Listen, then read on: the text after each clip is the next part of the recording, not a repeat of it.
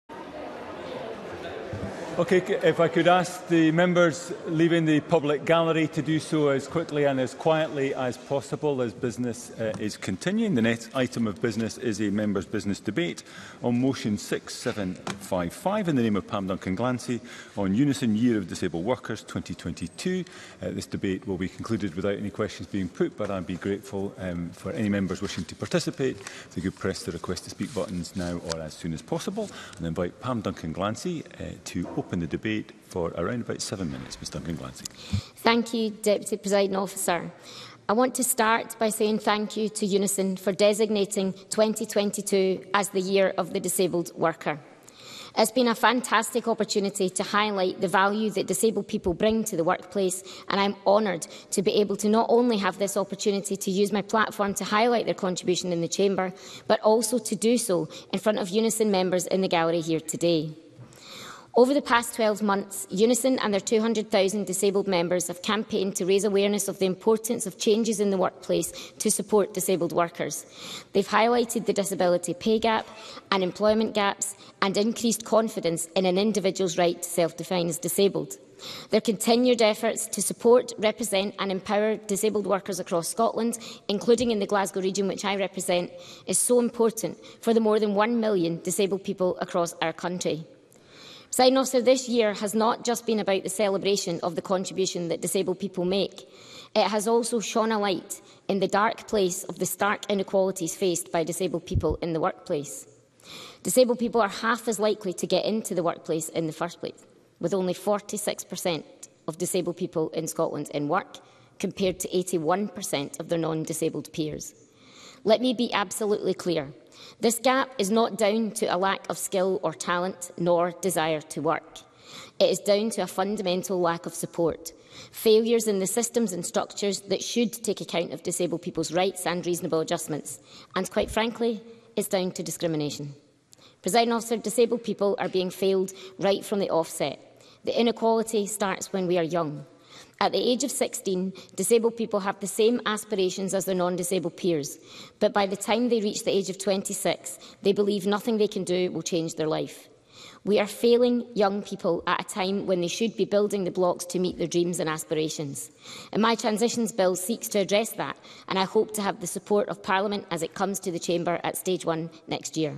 Member take but I will. Thank you. Martin Whitfield. I'm very grateful to Pam Duncan-Glancy to take this intervention. And isn't the true tragedy that where the able-bodied community are failing to see the imagination, the intelligence, the wisdom, and actually the unique contribution that disabled people can make, we are doing a great disservice to all of our communities. Pam Duncan-Glancy. I thank the member for that intervention and I wholeheartedly agree with the statement. I've said often and, and possibly once or twice in this chamber that disabled people are innovative by design just because getting up in the morning requires innovation and we should not lose that to the workplace or indeed to society. But the older disabled people get, the longer the list of the ways in which we fail them gets and the more we damage the ability of disabled people to meet their full potential. If we are to have a fighting chance, we need to end the inbuilt discrimination that exists in the systems and structures that hold disabled people back. We also need trade unions, because, as is the case with all workers' rights, it is trade unions who are at the forefront of the fight of disabled workers, and it is the unions, like Unison, who fight the injustices disabled people face every day. And this campaign is a shining example of that. It is essential that all employers, colleagues and workplaces know what support must be in place for disabled employees. Deputy Presiding Officer, we need more workplaces to engage with the Disability Confident Employer Scheme, but we also need a, a scheme in Scotland that has teeth, and the voluntary nature of this scheme means that not enough is yet being done. And employers shouldn't just work to make their workplaces better for the disabled employees they have, but actively seek to demonstrate inclusive practices to attract more disabled workers so that they can benefit from the potential that they can bring. And that's why one of the key goals of this year of the disabled worker is to increase confidence in disabled people coming out in the workplace. For 43.6% of the workforce, it is simply unknown whether they have a disability or not, and declaration rates have fallen to 57.6%. That means that almost half of disabled workers don't feel comfortable making their employers aware of their disability and likely miss out on reasonable adjustments as a result. Disabled workers have a right, just like anyone else, to a workplace and access to support. And the Equality Act, thanks to a Labour government, gives disabled people rights to support at work through the anticipatory duty on employers, and that is a principle we should always uphold. But, Presiding Officer, we've all heard fit for work assessments. Today, I ask that we use all the powers of this place that we have, procurement, public sector contracting and business support, to ensure that employers are fit to employ. It is essential that Scotland's disabled workers know what support they are entitled to and what rights they have within the workplace. Disabled people and the valuable contribution they bring to the workplace has been overlooked for way too long and this must change. If we're truly to reap the benefits of what Scotland's disabled workers have to offer, we need bold action action that seeks to close the disability pay and employment gaps, action that encourages workplaces to be more inclusive, an action to increase the confidence of disabled people to self-define and talk to their employers about their disability and the needs that come along with it. Above all, we need to do more to celebrate Scotland's hugely talented disabled workforce. And as I come to a close, I want to say, firstly, to employers – Your workforce will be enriched immensely because of disabled people. So please do all you can to empower them to tell you about their disability without fear of losing their job or being treated differently. It's your moral and economic and legal duty to do this and to make your workplace open and welcoming for all. And to disabled people across the country today, I say this. Be proud, be vocal. You have rights, you are innovative by design, and workplaces must not miss out on that. Be proud of your diversity, claim your rights, and yes, join a union. And finally, let me reiterate my thanks to Unison and all its members and congratulate you for all the work you've done so far this year to keep a focus on disabled workers. I make a plea to colleagues in this chamber that we listen and take note. It's on all of us to work relentlessly to carry on the great work that's been started this year and ensure that disabled workers are not just empowered this year, but for every year to come. Thank you. Thank you very much indeed, Mr Duncan Glassy. We now move to the open debate. I call first Emma Roddick to be followed by Jeremy Balfour for around four minutes. Ms Roddick.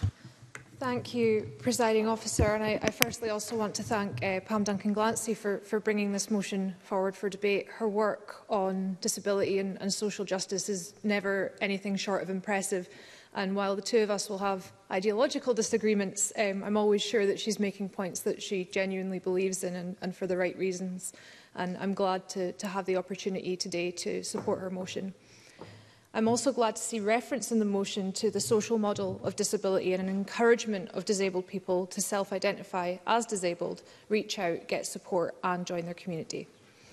There is sadly a campaign going on at the moment that is completely contrary to the things that disabled people have been fighting for for decades, trying to claw back progress and promote the regressive medical model.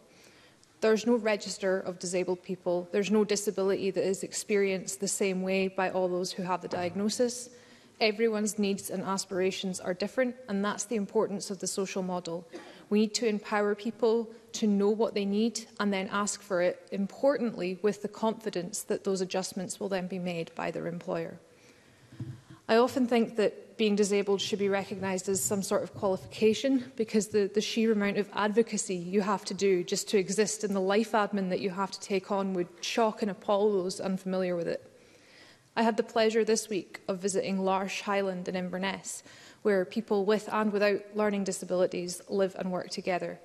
This was Monday, and I'm still feeling really uplifted by the morning that I spent there uh, with people who were so welcoming and unapologetically and passionately proud of the work that they do and the community that they've built together.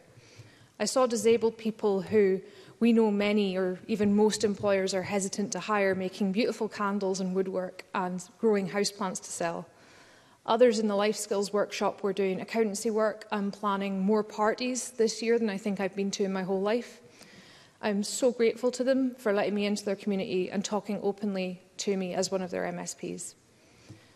There was a hashtag campaign on disabled Twitter a while ago, which was uh, being disabled does define me. And I really loved that and the stories that were being shared. A lot of the time people talk about disability as something that you need to overcome, something that takes away your dignity, or they just treat disability as inspiration porn. But many disabled people recognize that being disabled has shaped them not only in a bad way, but often opening up understanding of issues, creating community, or giving them skills that they might not otherwise have picked up in life. It can be a strength, and we should be able to celebrate that. The Scottish Government itself is a disability-confident employer. Uh, within the Scottish Government, reasonable adjustments are called workplace adjustments because it is committed to going further than simply the legal compliance. And I hope that more employers will look into the benefits of becoming more progressive and inclusive – Workplaces can benefit from diversity, benefit from varied experiences in the workforce and benefit from the input and ideas that disabled people have. If you make a workplace accessible, you have not just made it safe for disabled people, though that really should be enough for everyone. You have made a flexible workplace for everybody there. A workplace that is willing to make adjustments for disability will be more resilient and able to make adjustments for those with caring responsibilities or other time conflicts.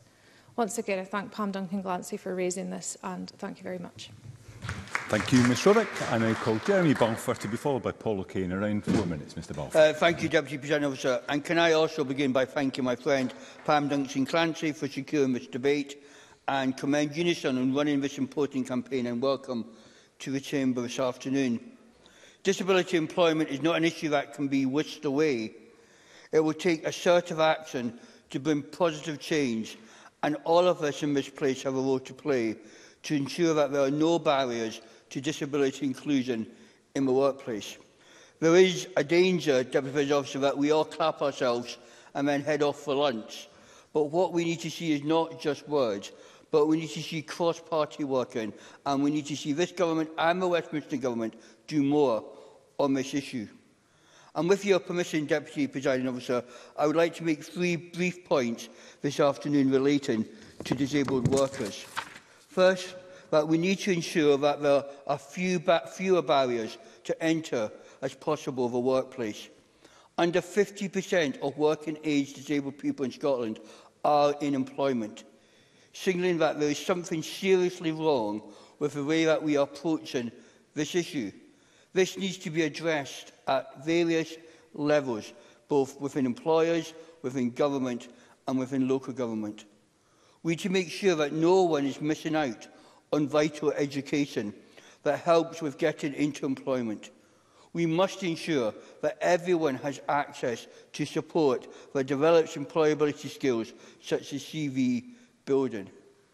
This, of course, is over and above making sure that everyone disabled or not has access to the highest level of education that is suitable and available. If we want to encourage disabled people into work, we must give them the tools required. Secondly, we are living in a potentially golden age of flexible working. One of the few positives to come out of a pandemic is that employers are much more comfortable and able to accommodate working patterns that deviate from the traditional 9 to 5 in a centralised office. Working from home or a hybrid model is becoming the norm, meaning that commuting and or timing constraints can be overcome with little difficulty. This is a perfect opportunity for business to work with the disabled communities to install working practices for a lifetime that will encourage them into the workforce, benefiting both sides.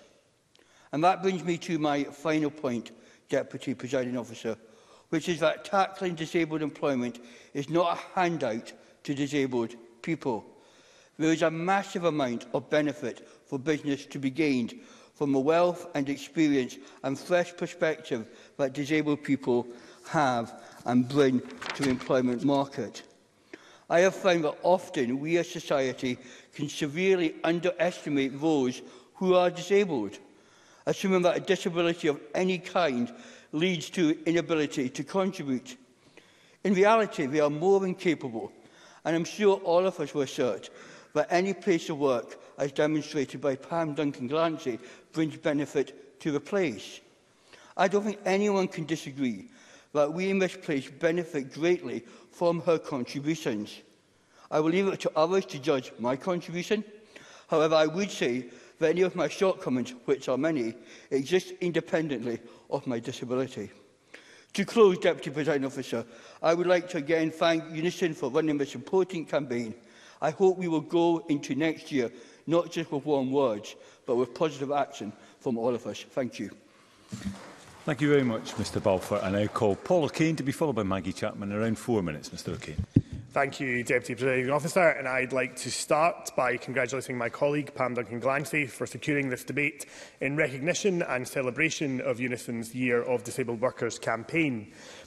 Throughout 2022, Unison have campaigns to highlight the experience of disabled members, the value they bring to their workplace and to call for better enforcement of their legal rights, particularly when it comes to the right to reasonable adjustments in the workplace. And this campaign is just one of many examples we are seeing at the moment where trade unions are standing up, as they have always done throughout our history, to advocate good working conditions, in the form of accessible, comfortable and safe workplaces for all workers, but of course, most importantly in this debate, for disabled workers.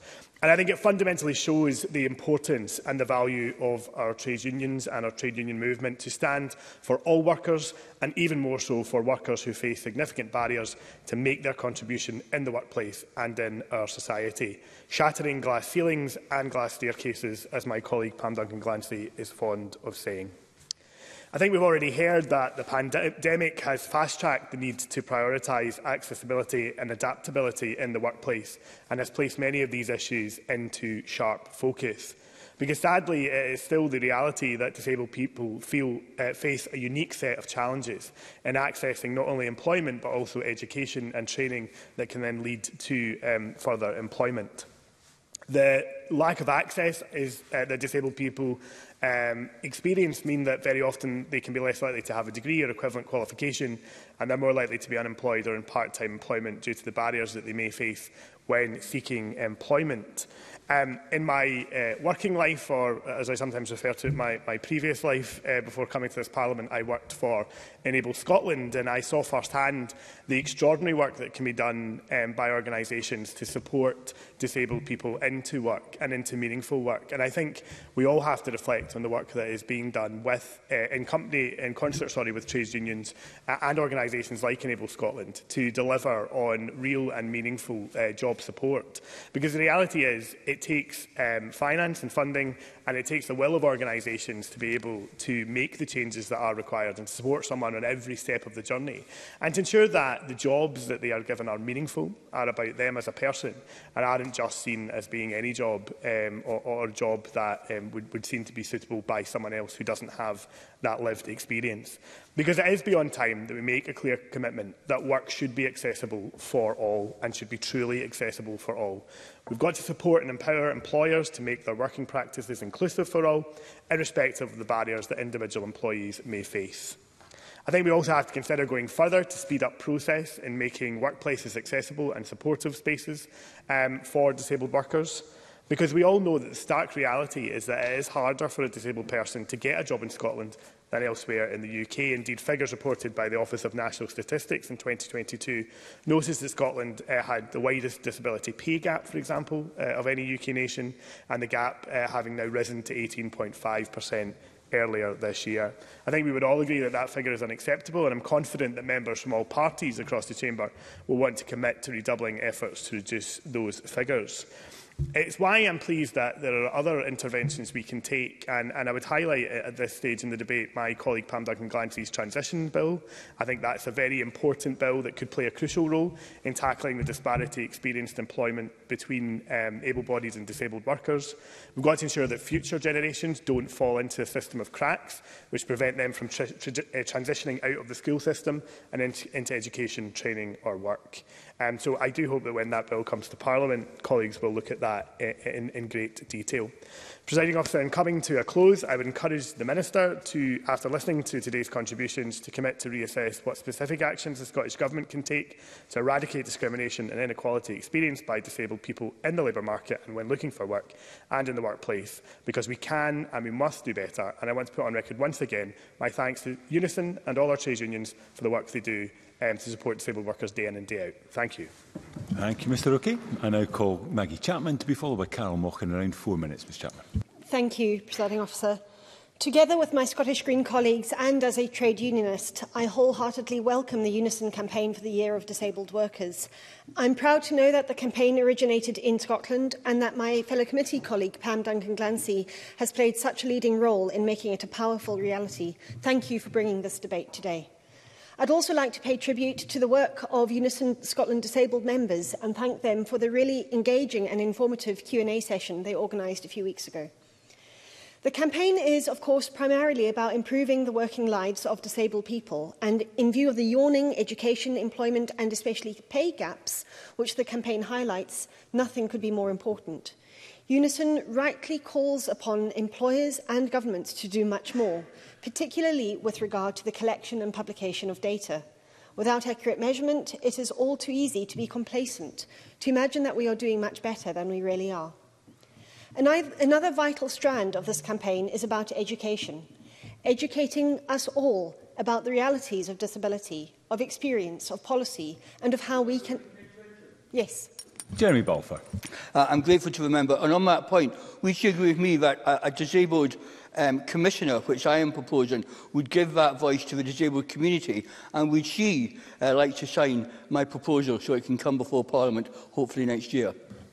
Maggie Chapman.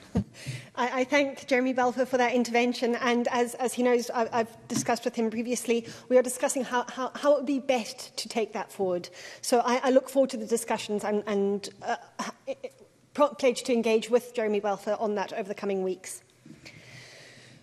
So we need to be we, we need to focus on educate on education, educating us all about the realities of disability, of experience, of policy and how we can be better colleagues, neighbors and allies. Central to that understanding is an appreciation of the social model of disability. We need to recognize and, our, and remind ourselves and others that disability does not reside in any impairment itself, but in negative social responses to that – in embedded barriers, discrimination and prejudice, ableist, uh, ableist attitudes and structural exclusions. Individualized medical and welfare models of disability still predominate in many contexts and still represent, uncomfortable as it may be to admit it, a social oppression as real as any other. And along with that social model comes the concept of independent living, The recognition that with the removal of barriers and appropriate personal support, both of which are eminently achievable, disabled people can exercise their full and equal rights to live and work and love and play. These two understandings of the social model of disability and of independent living are, I believe, transformative, not only for disabled people, but for all of us. Inclusion is good for everyone. And these two also have significant implications for how we see the past, the present, and the future. Crucially, these revolutionary realizations came not from mainstream organizations for disabled people, but from groups of disabled people, from grassroots initiatives which came about in circumstances of great suffering, of extreme oppression, and extraordinary yet normalized exclusion.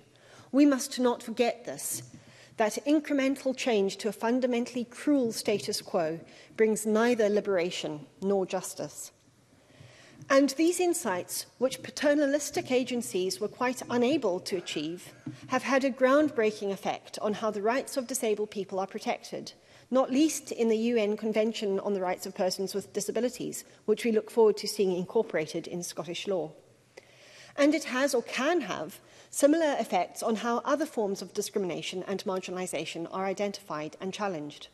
For none of us, however privileged, is entirely independent, able to exercise our rights and freedoms without the support of others.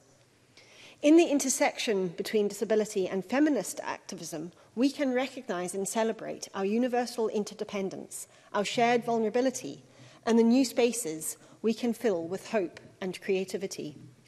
And finally, this is knowledge that should and must inform how we in this Parliament develop policy, enact legislation, do implementation.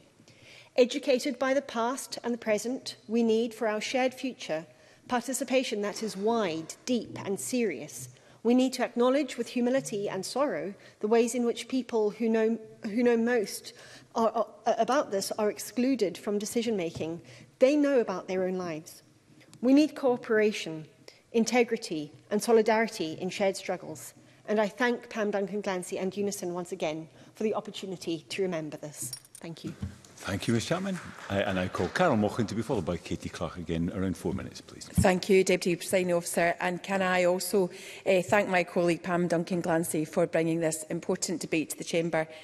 I know that my colleague has worked tirelessly throughout her career on this cause, and I know she will continue to fight with disabled workers and the trade unions that represent them, and I know she will continue to fight with them.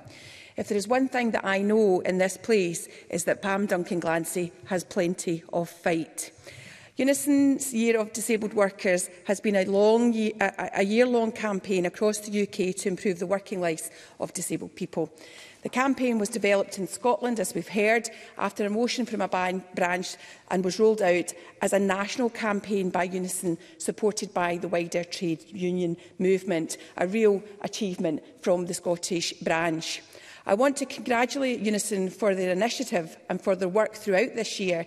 It is unions at their best finding ways to support and celebrate workers of all diversity in the workplace. Before moving on, presiding, uh, Deputy Presiding Officer, I must speak to the scale of the problem, as we have heard from my colleague Paul O'Kane. It is clear and Unison have provided us with a briefing about the detail, but it's important to know the detail to understand the changes that we need to make. Deputy Presiding Officer, as uh, in Scotland today, disabled people are less likely to be in employment, education or training. They're more likely to have low or no qualifications at Scottish Credit and Qualification Framework Level 4 um, and are less likely to have a degree or equivalent, equivalent qualification They're more likely to be in work part-time or unemployed, face additional barriers, and disabled people are less likely to work in higher managerial positions and less likely uh, to work in professional occupations. Now, I th don't think any of us are shocked by that, but we should be shocked by that. It is absolutely unacceptable. Deputy Presiding Officer, in my lifetime before this place, um, I was lucky enough to have a job that allowed me to support and work with many disabled people. The bulk of my work was working with adults with learning disability. This group of people inspired me, motivated me and taught me a lot about life and I am ever grateful for the time I spent working in this area. I raise this as looking back, it strikes me just how few of the people I supported had paid work a sad and unnecessary situation when I think how capable, how reliable and how keen to work those people were. I am saddened to say when I looked at the pay, paid employment rates for people with learning disability now, they have actually fallen across the UK to a low of just 4.8%. 4.8% of a group of people who are motivated, reliable and want to work. Shocking. People with disability have the right to work and it is incumbent on government to ensure the world of work is a welcoming and suitable, suitably adjusted environment. The 210 Equality Act offers a range of protections to disabled people, um, but workforce discrimination still affects many people across the UK and we must all do more. In my own region, I recently visited an impressive social enterprise, The Usual Place. When I clicked on their website just to remind me, um, the message said to me, did you you know, we are a disability confident leader with 70% of our staff, staff uh, eh, from a, a disability background and I think that is a claim to be proud of. I would invite everyone to visit the usual place which provides a cafe, a shop and some conference facilities which really are excellent. Um, I would re recommend a visit. It's a beautiful setting with excellent staff and tasty uh, food and the, the, the preparations that go on in that place are about providing real experiences for people to go on, of course. Emma Harper.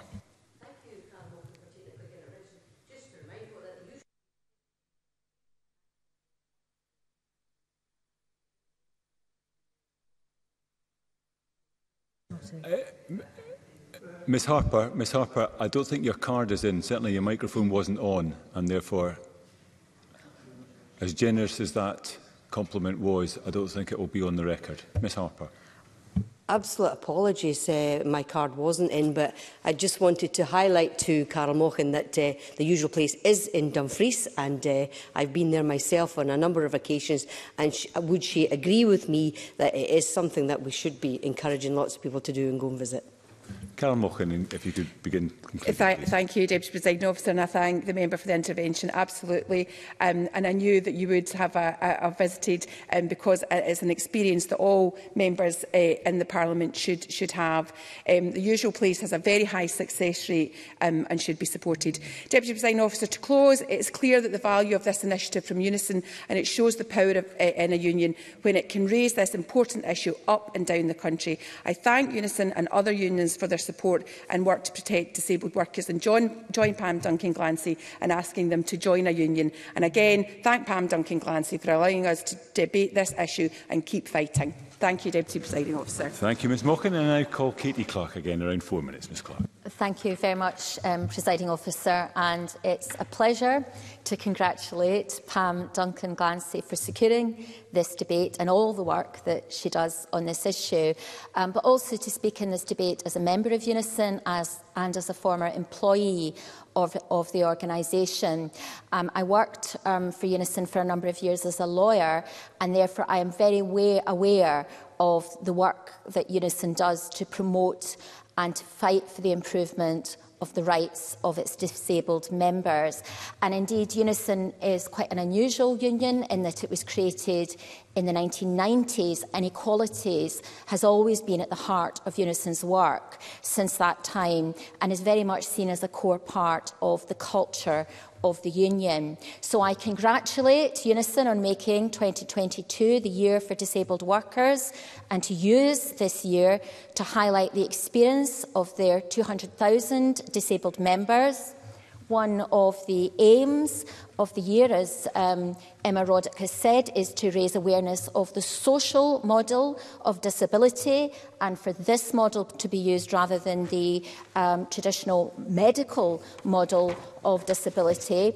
Um, another aim is um, to raise the importance of changes necessary in the workplace and the working practices that are needed, needed to enable disabled people to work. Because we know it is more difficult for disabled people to get employment. And we also know, as the motion says, that there is a considerable disability pay gap with disabled people earning less than others. And as Paul O'Kane has said, um, the situation indeed is worse in Scotland, which I believe is something that as a parliament we need to focus on. Paul O'Kane also spoke about the barriers that disabled people face to getting access to education and of course that also uh, makes it more difficult for them to obtain um, good employment if they don't have those qualifications and indeed skills. Um, so there remains a considerable um, amount of discrimination um, against disabled people um, in our society, particularly in the workplace, and more support is needed to ensure that reasonable adjustments are made. In the debate on free rail travel for blind and partially sighted people and companions yesterday, the importance of public transport to enable people to get to work, to have access to employment and indeed to other social connections was made. Um, and that debate was specifically about the 180,000 people living with sight despite loss in Scotland. But the accessibility of public transport for many disabled people is also a key factor in the ability um, to get to work. And we need to listen to the experiences of disabled people.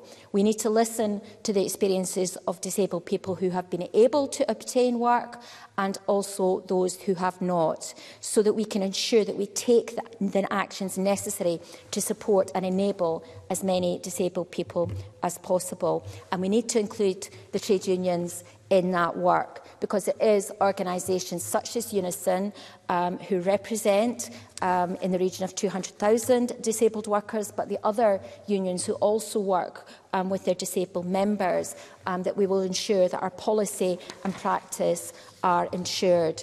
Um, we've heard very clearly today that there is much that Scotland needs to do um, to rise to this challenge, and I look forward um, to hearing from the Minister of the actions that the Scottish Government is taking to ensure um, that this situation improves. Thank you very much indeed, uh, Ms Clark. I now call on the Minister to respond to the debate. Um, Minister, for around about seven minutes, please. Thank you, Deputy Presiding Officer, and I want to thank all speakers for their very thoughtful contributions to this debate, and in particular, of course, to Pam Duncan-Glancy, who is the sponsor of this motion in this debate today, and thank her for her powerful insights into the challenges facing disabled people in Scotland who want to work, and, of course, as many other members have said, the loss to Scotland of not making it easy or practicable uh, for disabled people to contribute towards Scotland's economy and, and to work uh, very important uh, contributions indeed.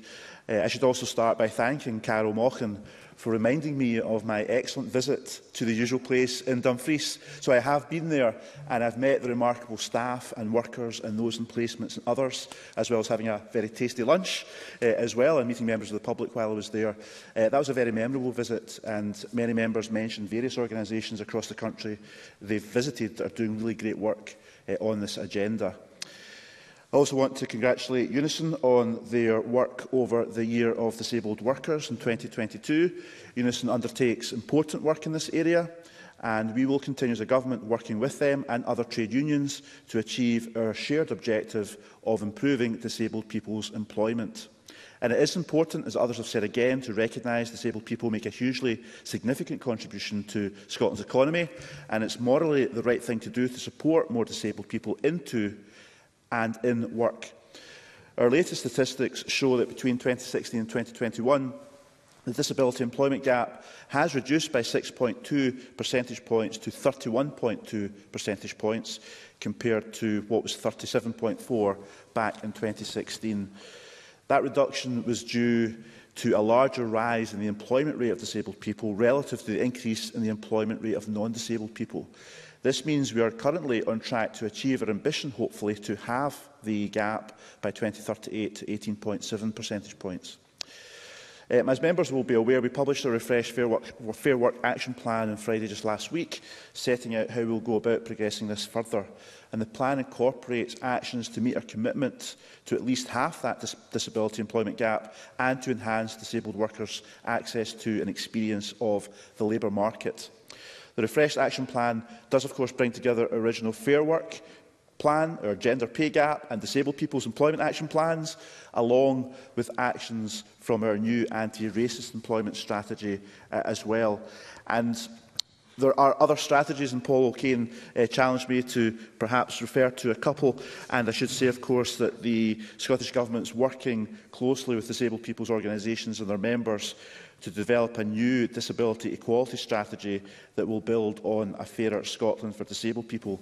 We also uh, allocate £5 million pounds of our Equality and Human Rights Fund to support disabled people's organisations, to deliver work focused on tackling inequality and discrimination, to further equality and advance the realisation of human rights in Scotland overall uh, as well. And we are also working with Disability Information Scotland who are currently in the process of creating a step-by-step -step employment guide that covers what action disabled people can take if they have problems or issues at any stages of their employment, including recruitment, the interview stages uh, and onwards to employment uh, as well. And of course, that uh, organisation is funded through the Scottish Government also, just to give a couple of examples in light of some of the points that were raised by members. As with our original Disabled People's Employment Plan back in 2018, the refreshed plan now endorses the social model of disability, which again many members have mentioned. It is not the disabled person's impairment or disability that creates barriers, rather barriers are created by society. And we recognise that opinions about self-identifying as disabled can vary, However, employers have a clear legal requirement not to discriminate against disabled people and to ensure they make reasonable adjustments. And central to our Fair Work First approach is creating diverse and inclusive workplaces in this country. Disabled people should always feel safe to share where they wish to do so, that they are disabled and require any adjustments that can assist them at their workplaces. And the Fair Work Action Plan also focuses on issues that Jeremy Balfour and others mentioned, uh, including flexible and hybrid working, uh, which was specifically mentioned. Our vision for uh, fair work is shared by the Fair Work Convention. We want Scotland to be a leading fair work nation by 2025. Of course, we don't have responsibility for employment powers. They lie with the UK government, but the Fair Work agenda has got a really important role to play in terms of today's discussion. And alongside our Fair Work Action Plan, we share uh, Ms Duncan Glancy's ambition to improve the experiences of disabled young people as they make the transition to adulthood. We will introduce Scotland's first national transitions to adulthood strategy in this uh, parliamentary term. And of course, the, the members mentioned that she has her, her own members bill that she wants to bring forward also. But we do want to make sure there is a joined up approach to supporting our disabled young people as they make that transition to adult life. And again, the importance of lived experience is reflected in our policies, and other members, of course, again mentioned how important that is. We'd very much recognise the importance of drawing on the voice of lived experience to listen to what disabled people have told us in terms of the challenges they face, and together so we can try and find deliverable solutions. We did develop the new Fair Work Action Plan in conjunction with disabled people, the representative organisations, as well as the other stakeholder groups we were speaking to. And similarly, disabled people informed development of our charter for No One Left Behind, which is our approach to employability to support And a couple of final measures to mention before I close. We are currently reviewing the public sector equality duty in Scotland, with results from our consultation earlier this year showing wide support for the publication of this disability pay gap information. And the pay gap was a, another issue mentioned by many members. So we will take forward work on that review of the duty uh, in the new year. And of course, back in 2019, the Scottish Government, as an employer, published our disability recruitment and retention plan. And as part of its delivery, we have established within Scottish Government, in terms of our workforce, um, a dedicated workplace adjustments team, which was established back in January of this year. We've also developed an employee passport, which facilitates conversations between employees and line managers about any circumstances impacting them in, uh, at work, including disability. Um, so we are hoping to go above and beyond our legal requirements as a Scottish Government. And I look forward to working uh, with uh, our trade union movement, who of course we also support with £2.3 million worth of funding through Scottish Union Learning, and uh, members across the Chamber and all parties as we try to address the very serious issues addressed by uh, Unison in their Year of Disabled Workers and raised by Pam uh, Duncan Glancy in her debate today and supported by other members across the Chamber. And I look forward to working with you all to deliver a better deal for Scotland's disabled people. Thank you very much indeed, uh, Minister. That concludes the debate and I suspend this meeting of Parliament briefly until 2 o'clock.